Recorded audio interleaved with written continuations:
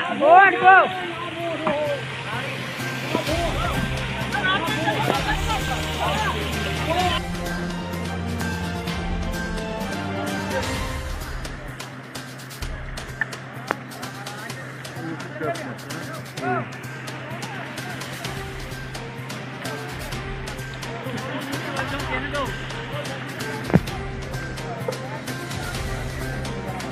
Oh no, mom, I'm not sure.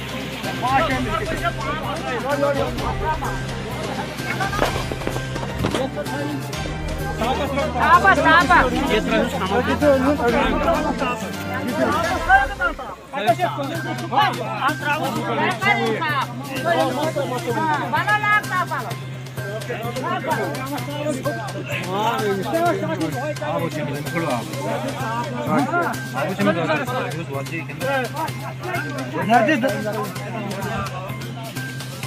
आज सुबह से जब ये खबर मिली कि हमारे थलौरन से दो भाई जो कि अपनी भेड़ों के साथ कल गए थे और कल से ही लापता थे उधर धनखड़ एरिया में, जो समाई से पीछे एरिया है। और आज सुबह मालूम हो गया कि दोनों की जो डेड बॉडीज़ हैं, जो हमारे बाल पधरी से जो नाला आता है, उस नाले में से उनको निकाला गया। बहुत गरीब दोनों भाई थे और ये जो भेड़ें पालने उनका पेशा था और कोई ज़रिए माश नहीं है। तो हमें बहुत अफसोस हो गया कि किस कारण उनकी डेथ हुई है। हम सरकार से ये डिमांड करेंगे कि दोनों भाइयों को कंपनसेशन दिया जाए ताकि उनके बच्चों का जो लाइवलीहुड है वो आगे चले। बहुत अफसोस है। हमें साढ़े दस बजे जानकारी मिली, चौकीदार के थ्रू मिली जानकारी कि दो बंदे जो थे, अब्दुल रशीद और अब्दुल लतीफ़। साना गुलाम अहमद और थलौरन जो कि माल मोशी बकरी, भेड़ लेकर हर साल ऊपर जाते थे पहाड़ पर मरोड़ से ऊपर। और कल वो अपने घर से गुआड़ी से गए थे, अपनी भेड़ बकरी को धुलाई करने के लिए।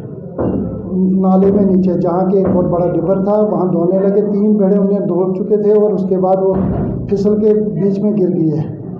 तो आज सुबह जानकारी मिलने पर पुलिस की टीम भी हमने यहाँ से भेजी और पब्लिक भी गई और कुछ जो रेस्क्यू वहाँ कर सकते थे वो भी साथ लिए और वहाँ रेस्क्यू करके एक डेड बॉडी को पहले निकाला, फिर दूसरी को निकाला।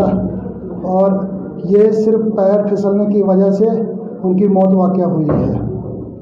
तो पुलिस की तरफ़ से अब जो आगे की ये, की जा रही है। अभी हमने जब वहाँ से डेड बॉडी को वहाँ निकाल कर उनके होम स्टेशन में शिफ्ट किया और वहाँ पर हमने उसके वारसीन से और उनके क्या कहते हैं, बाकी पंचायत के मौजिन से दरियाफत किया। उन्होंने कहा कि हमें किसी पर कोई भी शक शुबा ना है और एक पंचायतनामा उन्होंने तहरीर करके दिया और वारसान ने दरख्वास्त लिख कर दे दी कि हम कोई भी कार्रवाई इसमें कराना नहीं चाहते हैं। अलबत्त मैंने डॉक्टर साहब भी साथ लिए थे और उन्होंने बज़ाहिरा जो भी उनकी कोई भी चोट नहीं थी उनसे भी चेक कराया कि बाहर से दोनों डेड बॉडी को अब्दुल रशीद और अब्दुल लतीफ़ को कोई भी चोट न थी।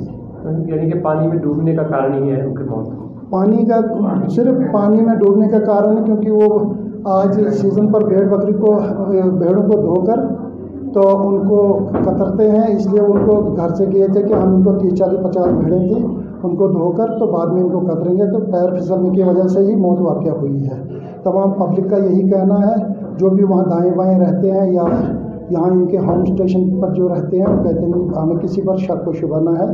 सिर्फ़ पैर फिसलने की वजह से जो पानी का दरिया में डिबर था, उसमें गिरने की वजह से कम से कम दस, ग्यारह फुट की उसकी गहराई है तो मौत वाक़ उसी वजह से हुई है। बड़े अफसोस से ये आज हमारी पंचायत थलोरन के दो आदमी मिराउन धान धार में अपने माल मवेशी के साथ थे और अपनी भेड़ भेड़ों को धोने के लिए एक जगह पे गए थे, दरिया पे गए थे और दोनों भाई सके भाई थे, अब्दुल लतीफ़, अब्दुल रशीद, वल्द गुलाम मोहम्मद, आरो विलेज थलोरन और दोनों की वहाँ डेथ हो गई कुएँ में नाले में।